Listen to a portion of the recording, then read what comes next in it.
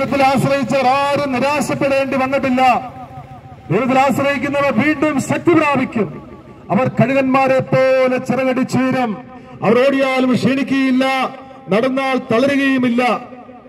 പ്രിയ സഹോദരങ്ങളെ ദൈവവചനത്തിൽ നമുക്ക് വിശ്വസിക്കാം. യേശുവിൽ നമുക്ക് വിശ്വസിക്കാം.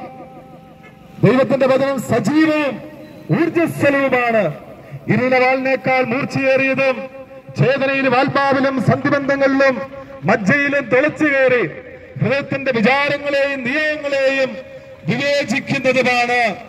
ആ ജീവനുള്ള വചനമാണ് യേശുവിന്റെ വചനം. യേശു പറഞ്ഞു വഴിയും സത്യവും ജീവനും ഞാൻ മാത്രമാണ്. നമുക്കത് വിശ്വസിക്കാം പ്രിയ സഹോദരങ്ങളെ. ദൈവവചനത്തിൽ വിശ്വസിച്ചിട്ട് ഇന്നേ വരെ ഒരു വ്യക്തിക്കും നിരാശപ്പെടേണ്ടതായി വന്നിട്ടില്ല. ദൈവത്തിൽ ആശ്രയിച്ചിട്ട് ഇന്നേവരെ ഒരു വ്യക്തിയും പരാജയപ്പെട്ടിട്ടില്ല. പ്രിയ സഹോദരങ്ങളെ ഈ നിമിഷം ദൈവത്തിന്റെ വചനം ദൈവഘടനയുടെ സന്ദേശം നിങ്ങളുമായി പങ്കുവെക്കുമ്പോൾ അവിടുത്തെ ആ സ്നേഹം അത് ഞങ്ങളെ നിങ്ങളിലേക്ക് ആ സ്നേഹം പകരാൻ വേണ്ടി ഞങ്ങളെ പ്രചോദിപ്പിക്കുകയാണ്. അതുകൊണ്ടാണ് ഈ തെരുവിൽ നിന്ന് നിങ്ങളോട് വിളിച്ചു പറയേണ്ടി വരുന്നത്. സത്യം വിളിച്ചു പറയാതിരിക്കാൻ സാധ്യമല്ല.